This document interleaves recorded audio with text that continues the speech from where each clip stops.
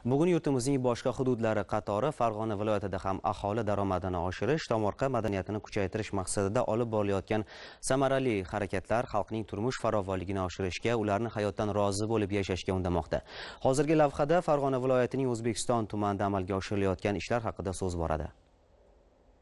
Keyingi yillarda yurtimizda olib borilayotgan islohotlar xalqning turmush farovonligini yaxshilashga, daromad manbaini ko'paytirishga xizmat qilmoqda. Prezidentimizning 2020-yil 30-iyundagi aholi tomorqalaridan foydalanish samaradorligini oshirishning qo'shimcha chora-tadbirlari to'g'risidagi qarori bugun shaxsiy tomorqasidan foydalanib, turmush sharoitini yaxshilashga intilayotgan hamyurtlarimiz uchun bir qator qulayliklarni yaratib berdi. O'zbekiston tumani Farg'ona viloyatining eng chekka hududlaridan birida joylashgan bo'lsa-da, bu yerda ham qaror ijrosi yuzasidan amalga tatbiq etilayotgan samarali loyihalar aholiga tomorqadan munosib foydalanish imkoniyatini yaratmoqda. Tumanning Kichik Tagob mahalla fuqarolari yig'inida mingga yaqin aholi istiqomat qiladi. Qariyb 20 yildirki hududda yashovchi fuqarolarning o'z tomorqalarini sug'ora olmasliklari bugungacha ularning katta muammosi bo'lgan. Prezidentimiz qaror ijrosini ta'minlash maqsadida tuman fermer dehqon xo'jaliklari va tomorqa yer egalari kengashi tomonidan Kichik Tagob mahallasi odamlarining suvga bo'lgan ehtiyojini qondirishga erishildi.